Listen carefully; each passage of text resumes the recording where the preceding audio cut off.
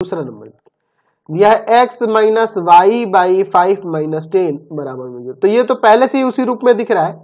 A X plus B plus E लेकिन थोड़ा और इसको हाई फाई दिखने के लिए हम लिखेंगे। One into X plus minus का one by five into Y और प्लस माइनस का दस बराबर ज़ीरो। देखो ये ए के जगह यह बी की जगह और यह सी की जगह। आ गया ना, और बीच में प्लस है।